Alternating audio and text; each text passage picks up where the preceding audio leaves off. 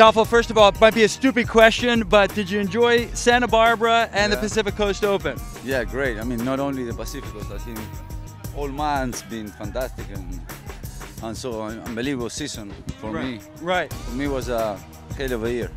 Where's uh, your next stop is Argentina for the Open? Yeah, the next stop is uh, I am into Argentine Open now. Yeah, I know. I, I'll- someday make I'm it to gonna- Palermo, my yeah, friend. I'm gonna rest for a while now Uh-huh. and get home and uh, and then get ready for the Open. Excellent. Now, the uh, entrance of Ulloa uh, instead of. Paco no, it changed a lot. I know. It was yeah, only a chukker and a half. and, and took us uh, took us two or three chukkers to to get back to. He played forward, Mhm. Paco was back. Yep.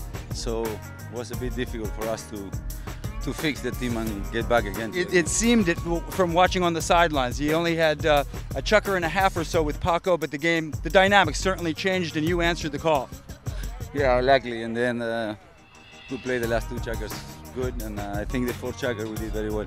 Great. Now, two more quick questions. First of all, Jason Crowder, what do you think of the young, young, young local boy?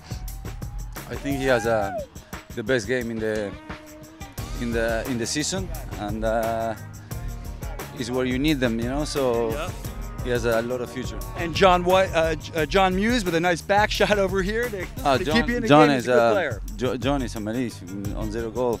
He helps a lot, and uh, and that's why in the end we won the three tournaments. So uh, Undefeated, unblemished record. yeah, and uh, all of us uh, we have a great tournament. So if not, we couldn't do what we did. Absolutely. Adolfo, I'll let you get decompress, as they say.